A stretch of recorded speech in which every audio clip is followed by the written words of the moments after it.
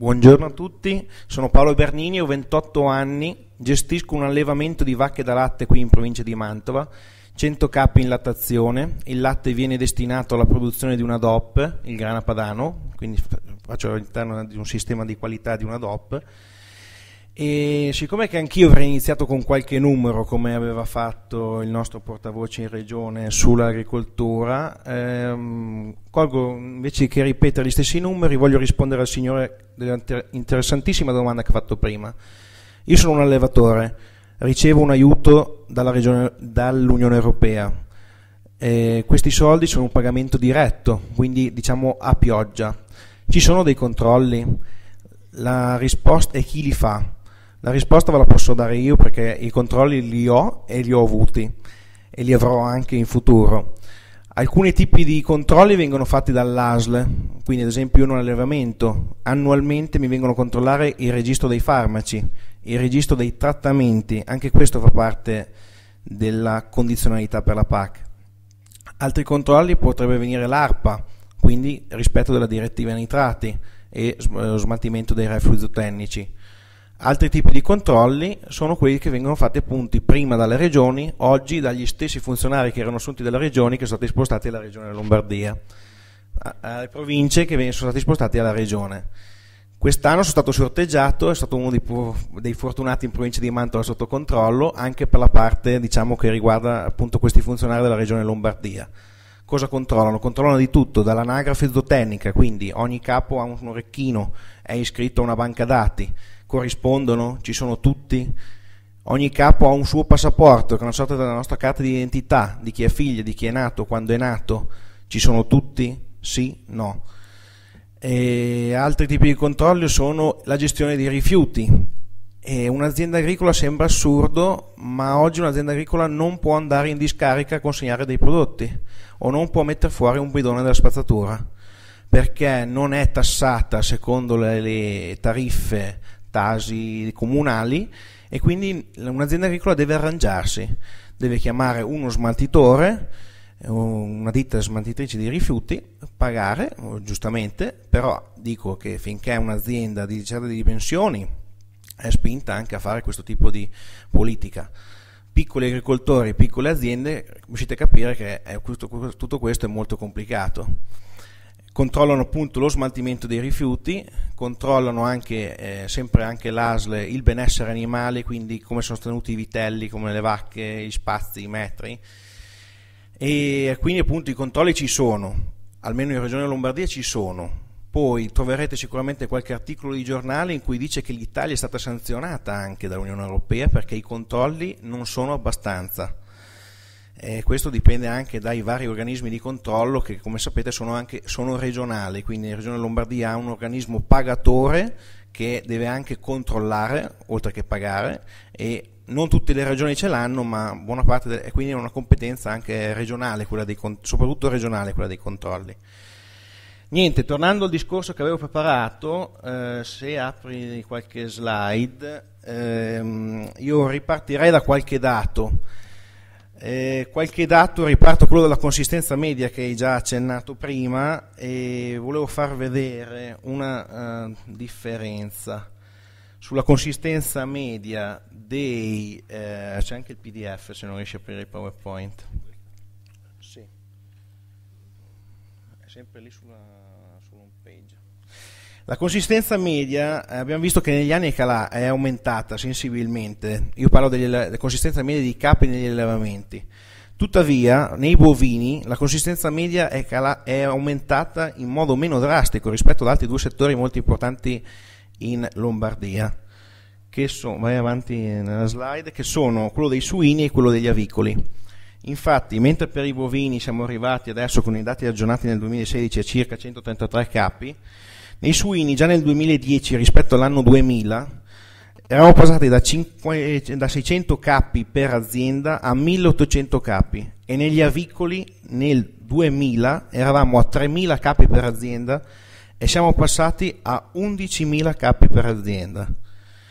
Questo non è per, secondo me non è tanto a un allevamento intensivo, a me non piace chiamarlo intensivo, a me piace chiamarlo che secondo me l'agricoltura si sta industrializzando si sta standardizzando. Questo nel settore degli suini e nel settore degli avicoli. Cosa è successo? I redditi sono crollati ancora di più rispetto al settore del latte.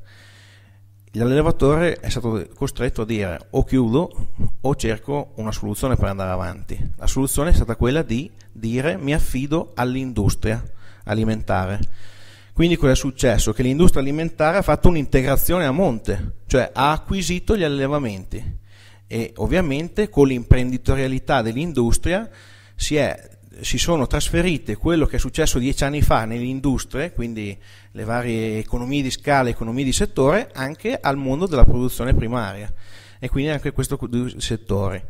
Questo sta avvenendo anche nei bovini, eh? però ovviamente le tempistiche sono diverse probabilmente se non cambierà qualcosa è quello che accadrà nei prossimi anni anche negli allevamenti bovini e eh, appunto io voglio parlare non tanto di intensivo ma di standardizzazione del processo.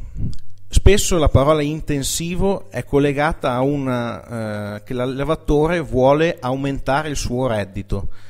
Secondo me invece l'allevatore eh, è stato spinto a un allevamento intensivo per ricercare il suo reddito. Cioè lui cosa, cosa è successo? Si è visto portare via sempre più reddito, sempre più reddito e ha sempre detto ma forse se ho 10 vacche in più eh, riesco a riguadagnarlo quel reddito. Se ho 200 suini in più forse lo riesco a recuperare.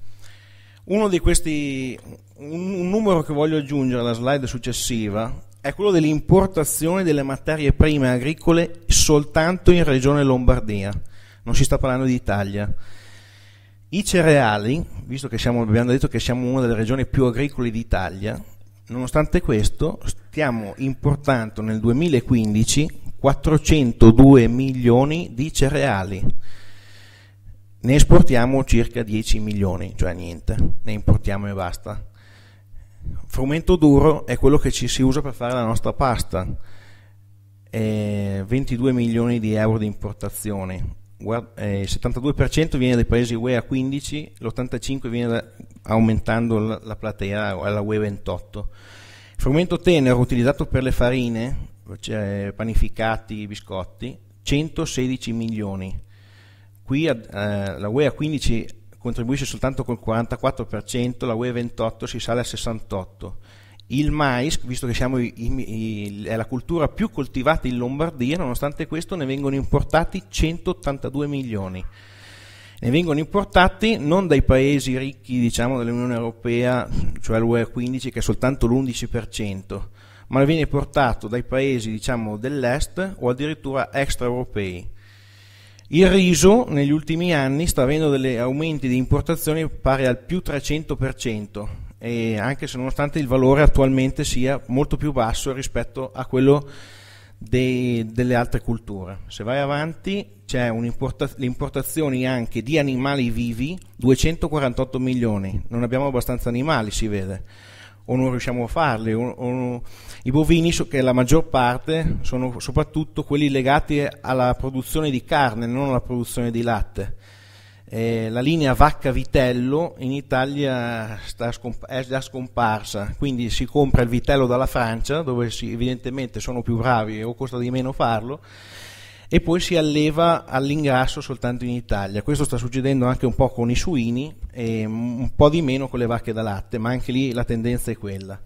Le carni fresche e congelate, quindi la carne, ne viene importata 1 miliardo e 122 milioni, 1 miliardo e 122 milioni soltanto in regione Lombardia.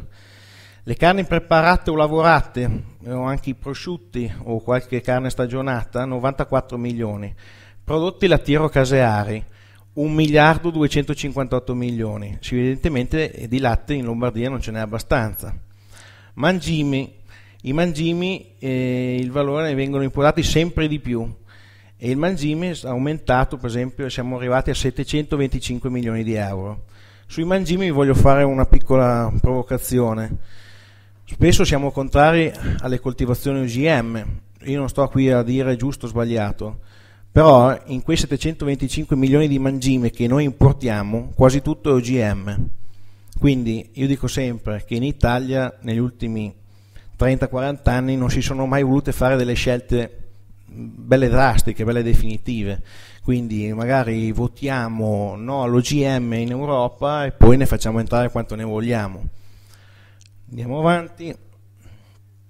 Questa è la catena del valore, dati ISMEA 2015. Su 100 euro che voi spendete per comprare un prodotto agricolo non trasformato, ad esempio 100 euro di insalata, 100 euro di zucchine, 100 euro di mele, quanto va alla, alla, all'agricoltore? Nel 2000 andavano 17 euro nel 2009 ne vanno soltanto 11,9 euro.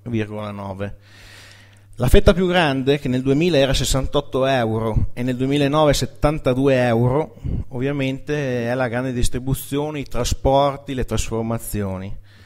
In questo grafico si può anche vedere che nei 100 euro che spendiamo per i prodotti agricoli non trasformati, nel 2000 6 euro erano per prodotti esteri, nel 2009 invece 7 euro, quindi un euro in più speso per un prodotto non italiano. La, il grafico successivo invece... Ah, questo invece ci dice quei 17 euro che abbiamo visto prima nel 2000 che andavano all'agricoltore, 7,6 erano il reddito dell'agricoltore. Nel 2009 i 17 euro non ci sono più, ma ce ne sono 11,9 e poveretto l'agricoltore gliene rimane soltanto 1,5 al netto dei contributi.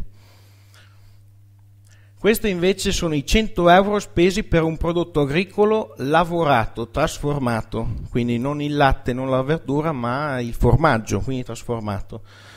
Sui 100 euro all'agricoltore ce ne, vanno, ce ne andavano due, eh, nel 2000 8,5 euro, nel 2009 ce ne vanno soltanto 6. Tutti questi dati per eh, diciamo dire che l'agricoltore se fosse arrivato a un andamento de, di un'agricoltura intensiva è perché eh, non tanto per fare reddito ma forse per rincorrerlo. Se Andrea vai nella slide successiva questo è, prezzo, è il prezzo del latte alla stalla eh, con alcune differenze tra l'Italia e la Germania. Le due righe più sotto, che quasi praticamente si combaciano, sono i prezzi alla stalla dei due paesi. Le, ri, le due righe più in alto, più in alto, sono i prezzi invece al consumatore. La riga più in alto di tutte è il prezzo del consumatore del latte in Italia la riga a diciamo, metà via è il prezzo del, al, del latte al consumatore in Germania. Come vedete, a parità di prezzo del latte alla stalla, il latte viene venduto al consumatore a prezzi nettamente differenti. Il grafico successivo fa vedere questo andamento dal 1976 al 2017-2016. Riga, qui si parla di Italia. La riga blu, quella più in basso, che comunque cresce piano piano, è il prezzo del latte alla stalla.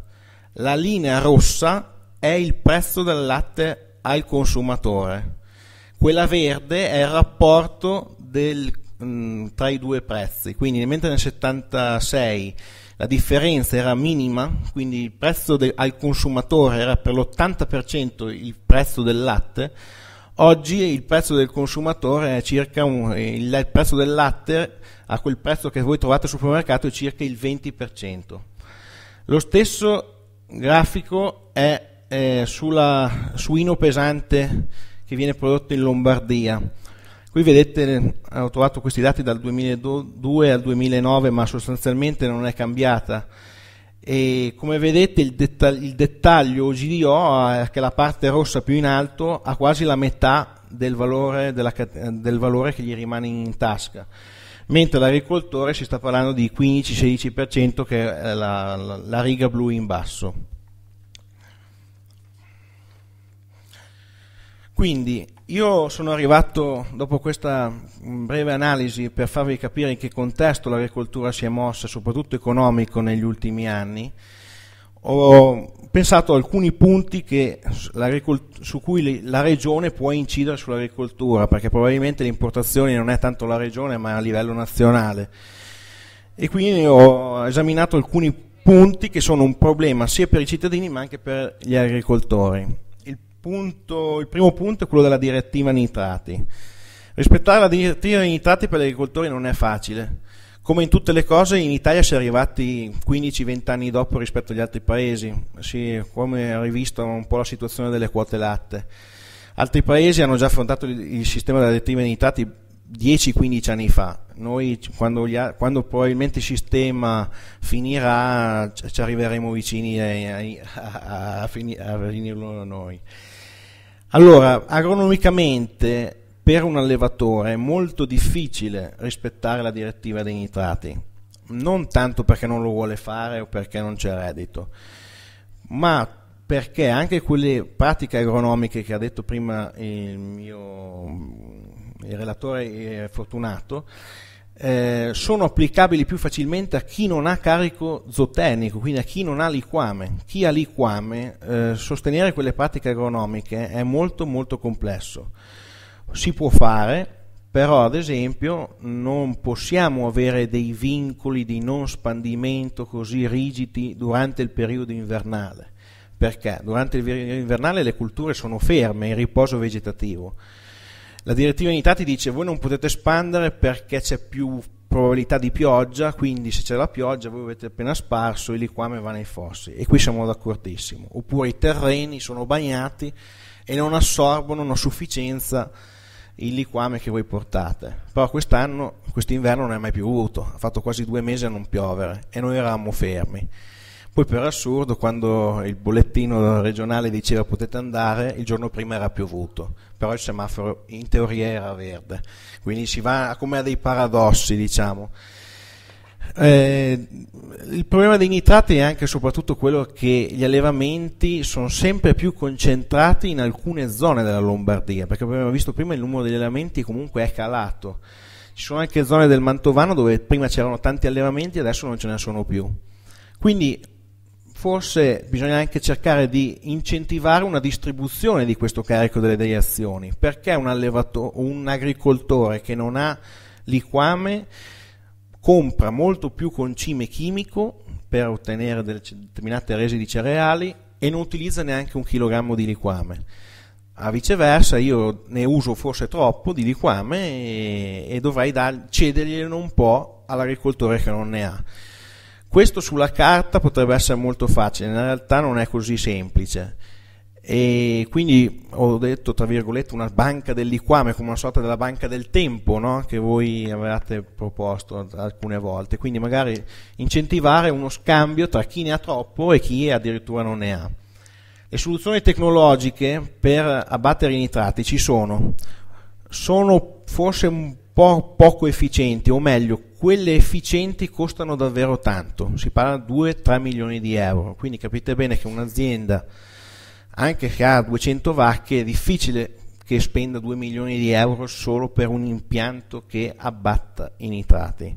E lo fanno soprattutto invece quelle grossissime aziende ancora di più o i biogas, eh, associato dei biogas perché recuperano un po' il costo dell'impianto appunto producendo l'energia e quindi io ho mm, diciamo, messo mm, come possibile idea quella di avvantaggiare degli impianti consortili, cioè siamo due o tre allevatori medio-piccoli, medio-grandi, eh, 2 milioni di euro da soli non ce la facciamo, se siamo in 4 o in 5 e veniamo un po' aiutati può darsi che eh, possiamo metterci d'accordo e iniziare queste attività.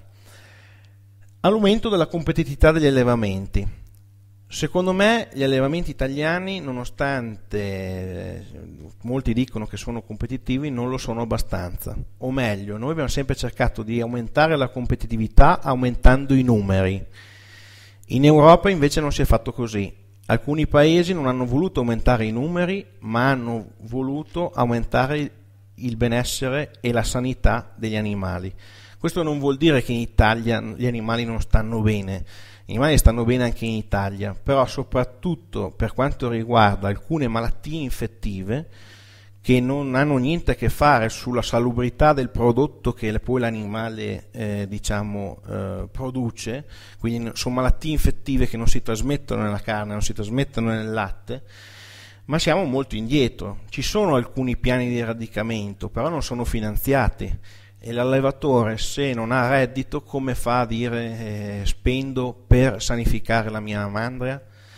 Se una vacca da latte in Italia mediamente dura 3-4 anni dalla sua nascita, questi non sono dati di alcune trasmissioni trasmissioni, sono purtroppo i dati dell'Associazione Italiana Allevatori, il numero di parti medio è 1,7, quasi 2, eh, spesso è dovuto al fatto di appunto alcune di queste malattie patologie virali che non permettono alla vacca di ingravidarsi, che gli, causano danni respiratori e quindi eh, calano sensibilmente diciamo, la, la, sua mm, eh, sanità e quindi vacca, gli animali dura meno.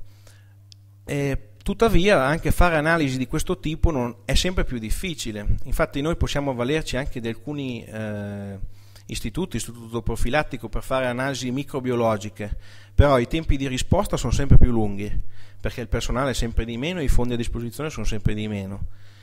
E se si parla da una parte in Europa di ridurre l'utilizzo dei farmaci negli allevamenti tramite, cioè io ho una patologia in allevamento, dovrei portare il campione o di sangue o di latte a un istituto che me lo analizza, mi dice qual è quell'antibiotico che davvero funziona e io curo l'animale.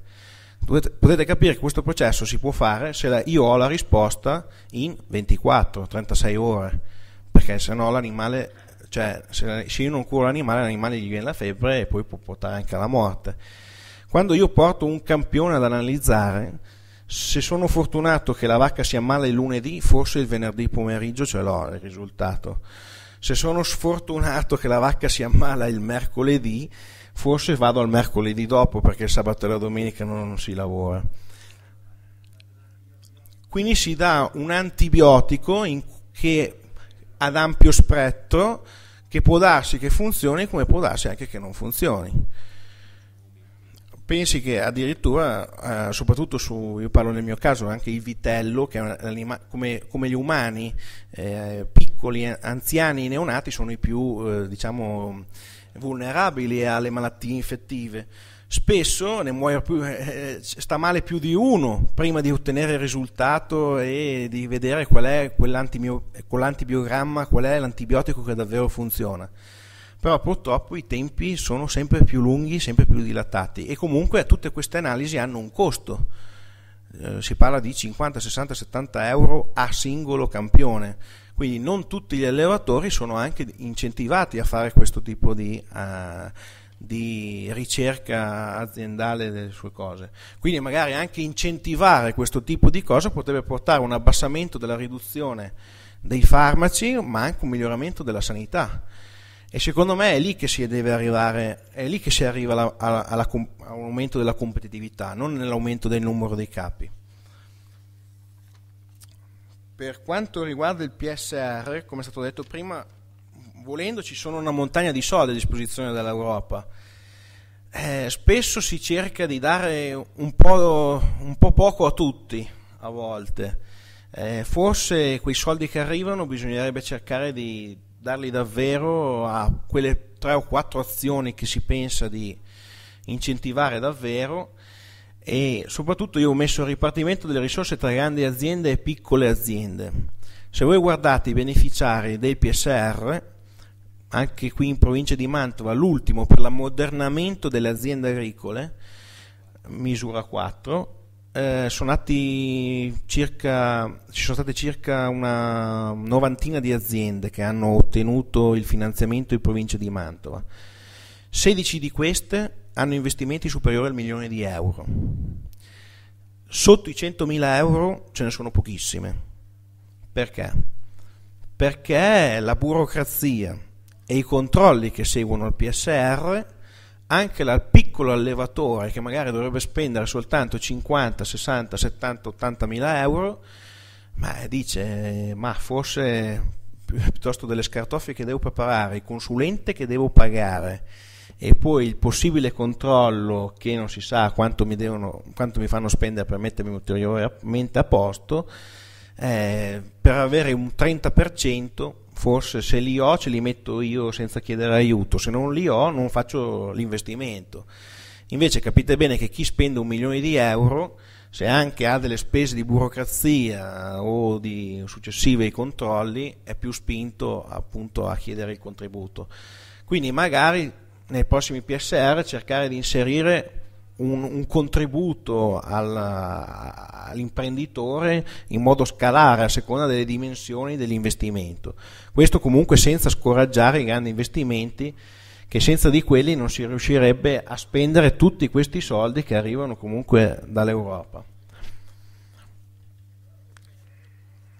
Un altro possibile metodo potrebbe essere quello di, dei sistemi di qualità.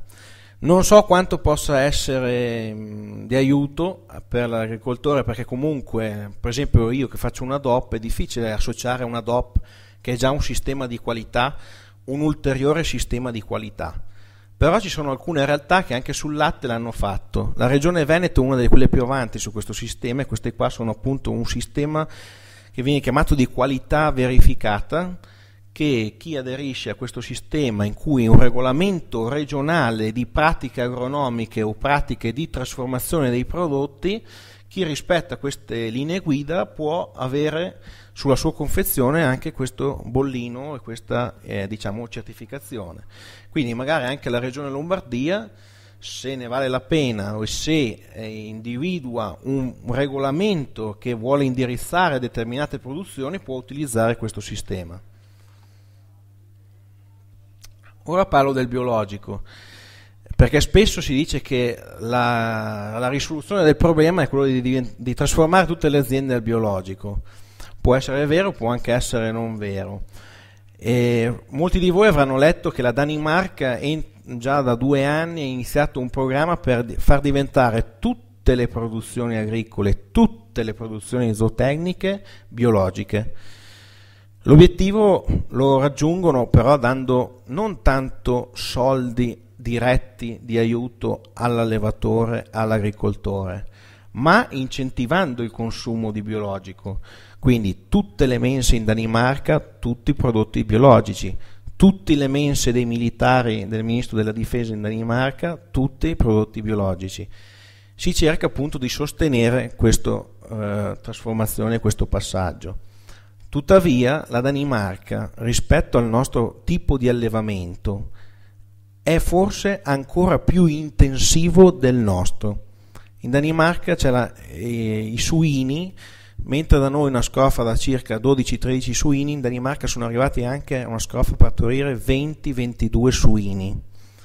Una vacca da latte, qui da noi il sistema di mungitura con il robot si sta diciamo in questi, questi, ultimi due anni sta venendo avanti. In Danimarca sono dieci anni che mungono con il robot. Quindi, nonostante sia un allevamento molto standardizzato, molto industrializzato, ma perché il governo vuole puntare al biologico? Cioè, invece, da noi in Italia sembra quasi che i due mondi siano completamente separati, cioè o un sistema bucolico, pochi animali, poche vacche e quindi bio, un sistema intensivo, tanti animali da un'altra parte. Loro cosa hanno? Hanno avuto in questi anni diciamo, eh, l'intuizione che non sono andati, come ho detto prima, ad avere un vantaggio competitivo nei numeri, perché i paesi nordici, soprattutto sui metri quadri per animale, sono uno dei, più, dei paesi, sono i paesi più severi e i controlli ci sono davvero quindi l'agricoltore non poteva aumentare il numero di vacche, non poteva aumentare il numero di, di, di suini, però ha potuto il benessere animale. Quindi la Danimarca, l'intero paese è indenne da tutte quelle malattie infettive che cioè, noi invece abbiamo in Italia. Loro tutto il paese, non solo una regione, tutto il paese è indenne.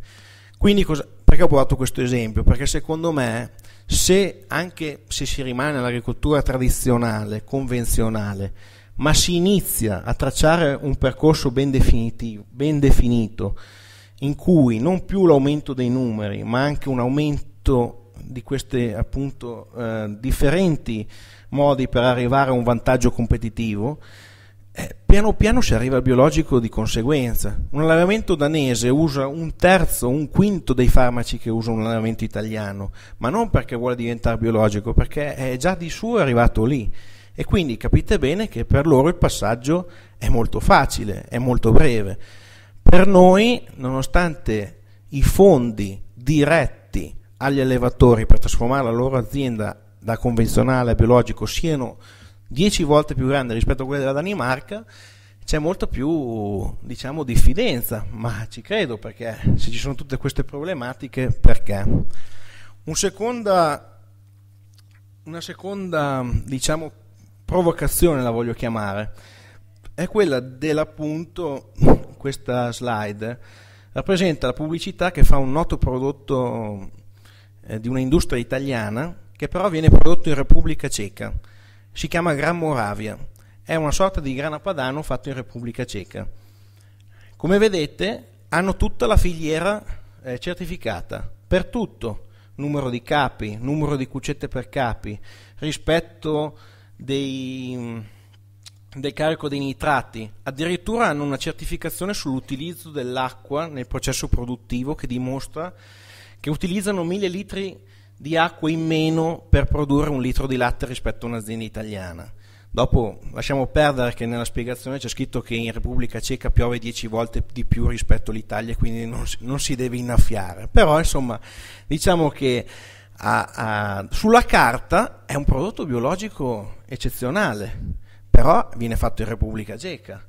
E quindi anche un produttore di biologico italiano, un produttore convenzionale che viene spinto a, a trasformarsi in biologico, bisogna stare attenti perché dopo, una volta, si, una volta che è diventato biologico, perché gli si dice fai più redditività se diventi biologico, poi magari deve competere con un prodotto biologico, io non sto dicendo che non è biologico, che però ha costi di manodopera un decimo rispetto ai tuoi, costo dei terreni un ventesimo rispetto ai tuoi, costo delle tasse, meglio non dirlo.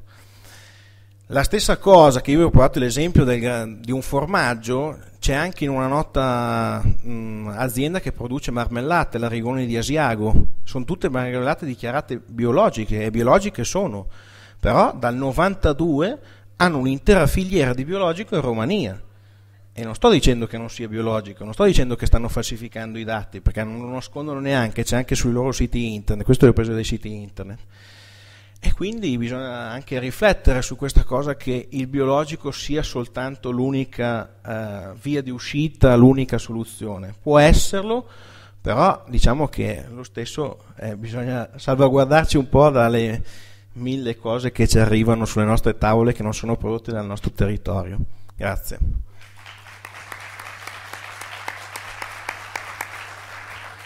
Ringrazio Paolo per eh, la disponibilità e per la relazione molto interessante. Gli chiedo se ci può lasciare le slide eh, a disposizione, così poi verranno condivise. Eh, data l'ora, io chiuderei qui e ci, appropinquiamo al pranzo.